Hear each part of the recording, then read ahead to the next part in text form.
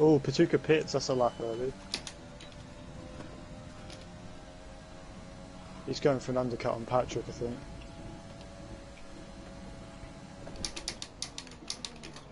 What? I've been fucking spun by him again! Fuck off. Basher. Fuck off, man. Honest to God, I'm actually fucking done.